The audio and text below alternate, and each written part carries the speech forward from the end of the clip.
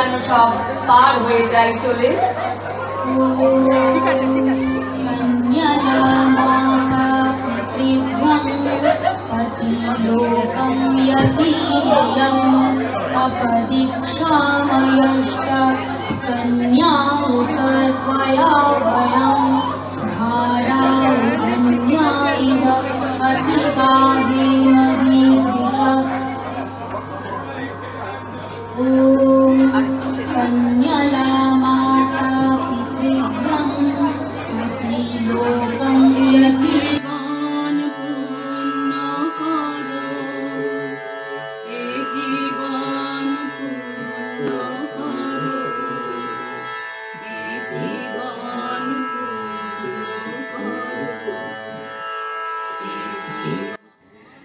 পুরনতুন বৈদিক বিবাহ এই আমাদের গোষ্ঠীর নাম। আমাদের কাজ? হ্যাঁ। প্রাচীন বৈদিক মতে যে বিবাহ পদ্ধতি ভারতে প্রচলিত ছিল, সেই বিয়ের সেই বিয়ের পদ্ধতির সারটুকু নিয়ে এবং তার অনুবাদ সমেত কিছু উপযোগী রবীন্দ্রসঙ্গীতের প্রয়োগসহ এই বিবাহ সম্পন্ন করা।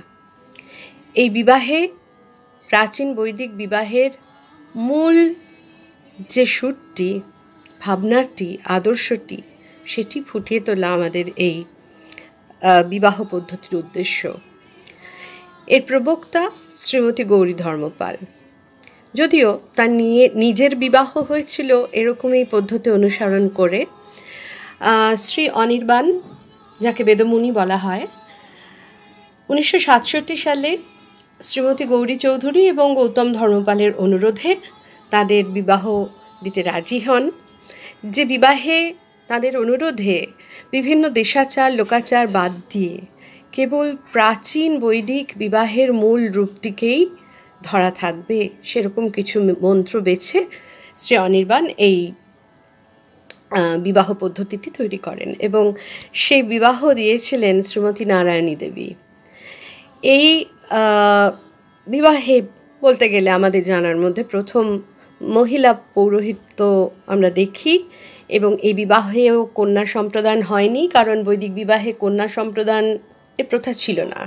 কারণ বিয়ে হতো মোটামুটি পরিণত বয়সে। তাকে সম্প্রদান করার কোনো প্রশ্নই ওঠে না সেখানে।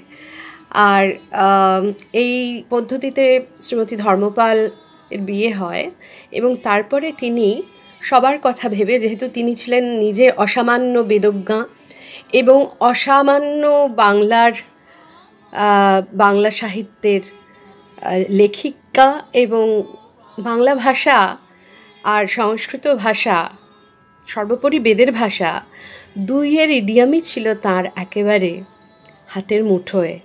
সেজন্য বৈদিক মন্ত্রগুলিকে সুন্দরভাবে বাংলায় ছন্দবদ্ধ করে, অনুবাদ করে এই বিবাহ পদ্ধতি যাতে আরও অনেকেই বেছে নিতে পারে, এই পদ্ধতিতে বিয়ে করতে পারে, এ কথা ভেবে তিনি একটি গ্রন্থ সংকলন করলেন, নাম দিলেন পুরো নতুন বৈদিক বিবাহ।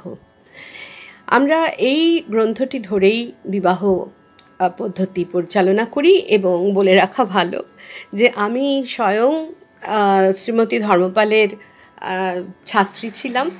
শুধু তাই নয়, তার, তিনি যখন এই রকমভাবে বিয়ে দেওয়া চালু করছেন এবং সেটা বেশ জনপ্রিয়তা লাভ করছে, সেই উনিশশো বিরানব্বই, তিরানব্বই সালের পর থেকেই তিনি চেয়েছিলেন যে তার সঙ্গে আমিও থাকি। এবং উনিশশো বোধ হয় পঁচানব্বই সালে আমাদের গৌরীদেরই কন্যা, শ্রীমতী রোহিণী ধর্মপাল। তার বিবাহ এই পদ্ধতিতে দেওয়া হয়েছিল। স্বয়ং গৌরীদি ছিলেন ছিলেন আচার্য হিসেবে গৌরীদির স্বামী শ্রী গৌতম ধর্মপাল এবং সেখানে পুরোহিতের দায়িত্ব হিসেবে মন্ত্রপাঠ আমরা গৌরীদির দুই ছাত্রী করেছিলাম। একজন ব্রততী দিয়ে আমার অনেক অগ্রজাতুল্লাহ এবং আরেকজন আমি। এরপরে এই ভাবে বিয়ে দেওয়াটাকে একটা রীতিমতো সামাজিকভাবে প্রচলিত করার জন্যে গৌরীদি সচেষ্ট হয়েছিলেন। বলা ভালো যে তার আগেই তার এই বিবাহ উদ্যোগ মানুষের নজর কেড়েছিল। অপর্ণা সেন তার বড় মেয়ের বিয়ে দেন গৌরীদি তার পুরোহিত ছিলেন। আরও কয়েকজন প্রখ্যাত মানুষ তাদের আহ, কন্যার বিবাহে গৌরীদিকে ডেকেছিলেন পুরোহিত হিসেবে পৌরোহিত্য করতে এবং এই বৈদিক পদ্ধতিতে মন্ত্র পড়ে বিয়ে দিতে। সব মিলিয়ে যেটা দাঁড়িয়েছিল, সেটা একটা অনবদ্য সুন্দর জিনিস, কারণ অন্যান্য যে বিয়ে হয়, বিশেষ করে আমাদের বাঙালিদের বা আমি জানি না, অন্য ভারতীয়, অন্য হিন্দুদের ক্ষেত্রে ঠিক তেমনটাই কিনা কিন্তু অনেকটা তো বটেই যে বিয়ের মূল উদ্দেশ্য যে কল্যাণ সম্পাদন, দুটি পরিবার, দুটি জীবন, দুটি বংশের মধ্যে মেলবন্ধন এবং একটি শুভ ইচ্ছা নিয়ে জীবনযাত্রার পথ শুরু করা, এই ভাবনাটির যে গাম্ভীর্য, মাধুর্য। তা আমাদের ভারতীয় হিন্দু বিবাহের অনেক জায়গাতেই প্রায় অদৃশ্য হয়ে গেছে। সেখানে হই হুল্লোড়টাই বড় হয়ে ওঠে। বিয়েতে বরবউ বিয়ে করছে, তারা জানেও না তারা কি মন্ত্র পড়ছে, কি শপথ নিচ্ছে। এক অজানা ভাষায় অজানা মন্ত্রে তারা পরস্পরের সঙ্গে সারা জীবনের জন্যে একসঙ্গে থাকার অঙ্গীকার করছে। এইটি তো আমাদের প্রথম প্রয়োজন যে আমি যা প্রতিজ্ঞা করছি, আমি যেন তা জেনে বুঝে করি। এবং সেইটি করার কাজ কিন্তু গৌরী ধর্মপাল করে দিলেন তার এই পুরনতুন বৈদিক বিবাহে, যেখানে যাবতীয় লোকাচার, দেশাচার, বর্জন দিয়ে একেবারে মূল বৈদিক বিবাহ পদ্ধতির কিছু অনুষ্ঠানের সঙ্গে যুক্ত করা হয়েছে। প্রতিটি ব্যবহৃত মন্ত্রের বঙ্গানুবাদ তাও সাবলীল বাংলা ছন্দে। এবং গৌরী ধর্মপালের অনবদ্য অনুবাদে। আর যারা চান তাদের জন্য ইংরেজি অনুবাদও পাঠ করা হয় মন্ত্রের। আর আমরা এই বিবাহ সম্পন্ন করি। আমরা তার কন্যা রোহিণী, আমি তার কন্যা তুল্লা বিদ্যাকন্যা বলব আমি দিদিও তাই বলতেন, আমি মৌ দাশগুপ্ত। এবং আমাদের সঙ্গে আছে আমার ছাত্রী, অর্থাৎ গৌরীদির পরম্পরার তৈরি ছেলে, তৈরি পুরোহিত, আরশভি আরশভি স্বয়ং গৌরীদি যখন ছিলেন তখনও তার কাজে করেছে, তার সঙ্গে অনু- অনুষ্ঠান করেছে, মন্ত্র পড়েছে। আমাদের এই স্বর সমেত মন্ত্র পড়া পড়তে শিখিয়েছিলেন দিদি এবং পুরো ব্যাপারটাই প্রায় তার কাছ থেকে হাতে ধরে শেখা প্রয়োগ করা। আজ আমরা এইভাবে বিয়ে দিই এবং আশ্চর্যের ব্যাপার যে শুধু কিছু খ্যাতিসম্পন্ন, সম্পন্ন মানুষই না মানে যাদের এক কথায় এলিট গোষ্ঠী বলা যায়, সেই অভিজাত সম্প্রদায় শুধু নয়, সাধারণ মানুষের মধ্যে কিন্তু এই বিবাহ নিয়ে একটা খুব উৎসাহ আমরা লক্ষ্য করছি যে কারণে মফস্বল প্রত্যন্ত জায়গা থেকেও আমাদের কাছে বিবাহ সম্পাদনা পরিচালনার জন্য অনুরোধ আসছে এবং আমরা ইতিমধ্যে চাকদা বলুন বা আরও প্রত্যন্ত জায়গায় গিয়ে বিবাহ দিয়েছে এবং ভবিষ্যতেও দেব। আমাদের উদ্দেশ্য শুধু কিছু বড় মানুষের ডিজাইনার বিবাহ দেওয়া নয়, এই বৈদিক বিবাহের মূল উদ্দেশ্যটি তার চমৎকার শুভ কামনাটি বার্তাটি মানুষের কাছে পৌঁছে বিবাহ পদ্ধতির যে সার্ব, সার্বিক মঙ্গলময় রূপ তাকে তুলে ধরা। নমস্কার।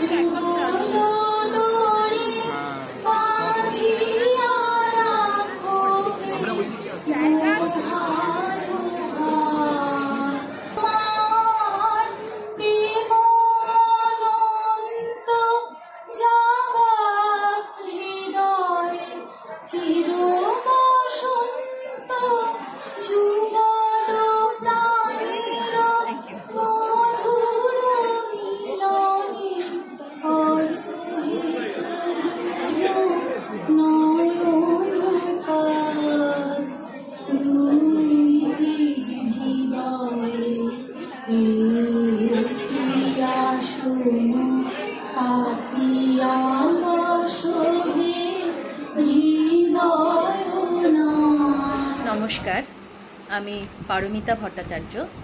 আমি পুরনতুন বৈদিক বিবাহ দলের সঙ্গে যুক্ত।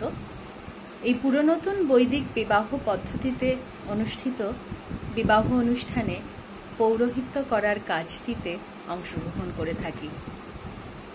এই বৈদিক বিবাহ পদ্ধতিটির প্রতি আমার আকর্ষণের প্রধান কারণ হল, এই পদ্ধতিতে রবীন্দ্রসঙ্গীতের ব্যবহার যা বিবাহ অনুষ্ঠানটিকে অনন্য মাত্রা প্রদান করে এবং একজন রবীন্দ্রসঙ্গীত শিল্পী হিসেবে আমার এই পদ্ধতিটির প্রতি ভালো লাগা অনেকাংশে বাড়িয়ে তোলে।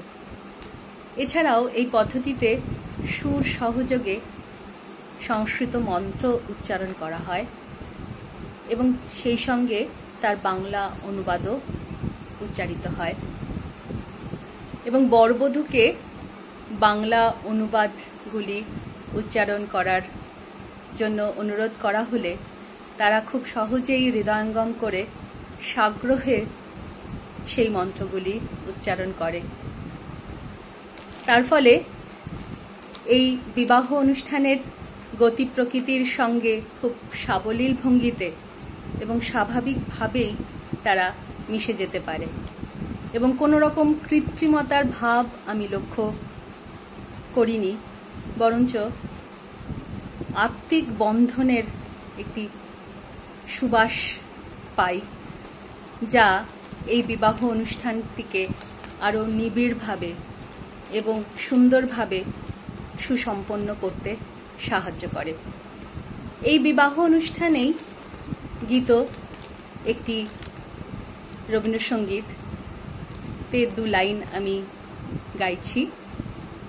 হৃদয় নন্দন বনে নিভৃত নিকেতনে হৃদয় নন্দন বনে এস হে আনন্দময় এস চির সুন্দর হৃদয়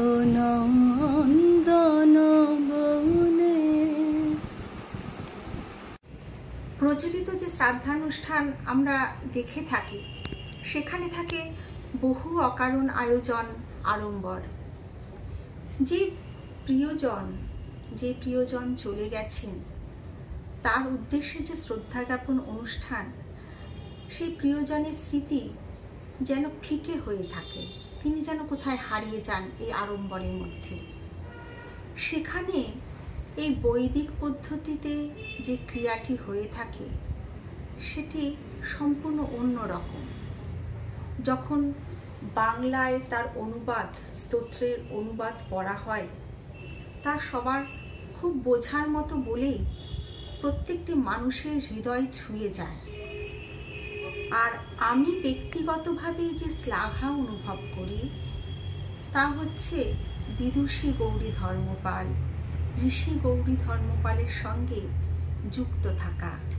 এ গর্বের নয়, এ আনন্দের, এ তৃপ্তির, আর নিজেকে উত্তরণের। এই শ্রাদ্ধের যে অনুষ্ঠানটি হয়ে থাকে বৈদিক পদ্ধতিতে, তা রবিগান এবং স্তোত্র দিয়ে সাজানো। রবিগান আর স্তোত্র মিলে একটা অদ্ভুত পরিবেশ সৃষ্টি হয়, যা আমন্ত্রিত উপস্থিত সকলকে ছুঁয়ে থাকে। আর আপনাতে একটা স্থিতির বোধ যেন জেগে থাকে। এই অনুষ্ঠানটির একটি অংশ হচ্ছে পুনর্জন্ম সুক্ত তিন ঋষি বন্ধু গোপবংশীয়, বন্ধু, শ্রুতবন্ধু এবং বিপ্রবন্ধুর মনো আবর্তন তথা পুনর্জন্ম সুক্ত চারটি পড়ছি। তোমার যেমন উধাও সুদূরে বৈবস্বত জমে, ফিরিয়ে আনছি আমরা তাকে আবার এখানে, থাকতে এখানেই বেঁচে পড়তে। তোমার যেমন সুদূরে উধাও, দুলোকে পৃথিবী লোকে, ফিরিয়ে আনছি আমরা তাকে আবার এখানে, থাকতে এখানেই বেঁচে পড়তে। সুদূরে উধাও তোমার যেমন ধরার চতুষ্কোণে ফিরিয়ে আনছি, আমরা তাকে আবার এখানে থাকতে, এখানেই বেঁচে বর্তে যেমন তোমার উধাও সুদূরে, আলোকের ঢেউয়ে ঢেউয়ে ফিরিয়ে আনছি, আমরা তাকে আবার এখানে থাকতে, এখানেই বেঁচে বর্তে এই পুনর্জন্ম সুক্তটি যে রবি গান দিয়ে গাঁথা হয়েছে, সে গানটি আবার যদি ইচ্ছা করো আবার আসি ফিরে। এত সুন্দরভাবে গাঁথা একটা সম্পূর্ণ অনুষ্ঠান প্রয়াত প্রিয়জন তাকে যেন প্রতিটা মুহূর্তে অনুভব করা যায়, উপলব্ধি করা যায়, তার সমস্ত ভালোবাসা তার প্রতি শ্রদ্ধা।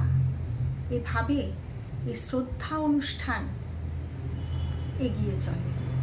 তোমা হতে যাবে রুই দেবী।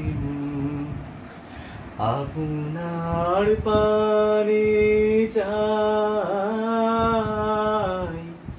তোমার অসীমে প্রাণ যত